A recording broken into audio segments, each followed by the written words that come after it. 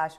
प्रकाश जिस तरह का रिएक्शन ओला इलेक्ट्रिक को मिला है पोस्ट लिस्टिंग कोई फ्रेश व्यूज़ क्योंकि ना कल हम यही बात कर रहे थे कि हीरो मोटो कॉप जो एक लेगेसी प्लेयर है, वो भी अपना आगे चलकर होपफुली बाकी सभी लेगेसी प्लेयर्स अपनी ईवी में मार्केट शेयर बढ़ाने के लिए पैसा खर्च करेंगे और उसकी तरफ़ कदम बढ़ने लगे हैं।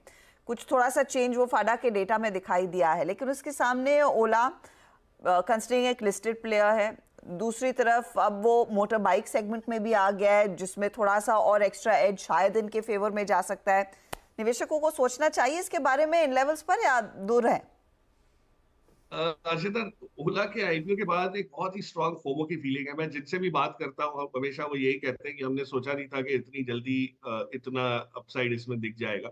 और उसके कई कारण हो सकते हैं। टेक्निकल कारण है कि फ्लोट थोड़ा कम है।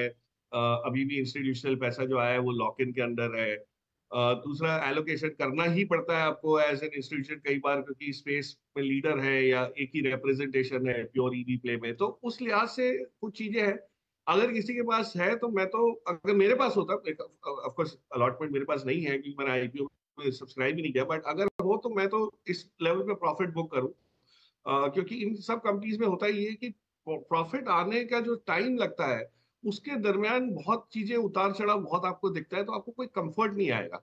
और ये चीज़ हमने कई बिजनेसेस में देखा है, चाहे नाइका हो जोमेटो हो डिलीवरी हो पीबी फिटटेक हो मतलब बहुत लंबी कतार है इस इस इस टाइप के बिहेवियर की। I would not compare it with some of these companies क्योंकि इसमें बिज़नेस अलग है, लेकिन अभी भी प्रॉफिटेबल नहीं है मतलब आप हर एक स्कूटर बेच रहे हो और नुकसान कर रहे हो।